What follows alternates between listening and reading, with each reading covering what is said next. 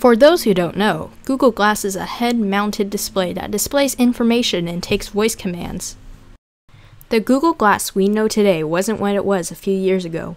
In fact, it went through many different changes, and it's still in beta. The Google X division started to begin creating glass and made their first prototype in 2011. Believe it or not, the first concept looked like this.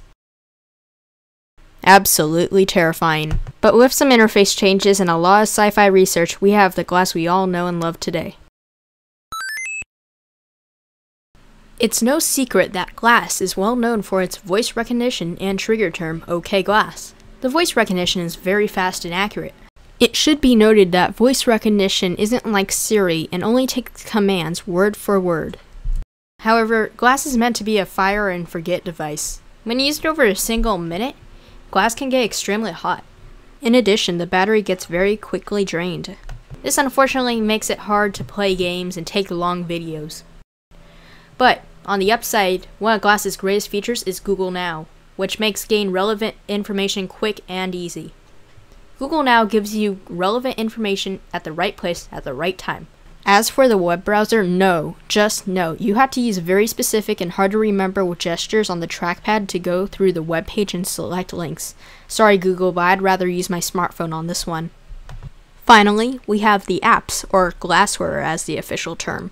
Glassware Gallery, aka App Store, allows you to get a small selection of apps for Glass. There are very few apps, but they're all free. Here are some of the best Shazam, Maps, which is built in, WordLens, and star chart. You can also sideload hundreds of other pieces of glassware from third party galleries.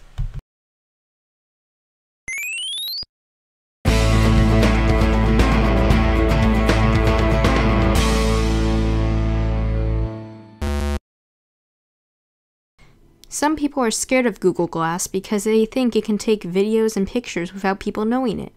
However, it should be noted that when video is taken with glass, a small light is shown through the prism, and it is easy to tell when one is taking video, especially in a dark room, such as a movie theater.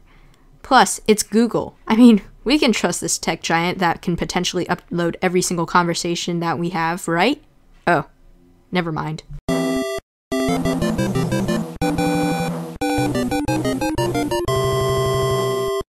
Google Glass is a great futuristic device that introduces the public to the great future of wearables, but it doesn't come at a cost, and I'm not just talking about the fact that it costs $1,500.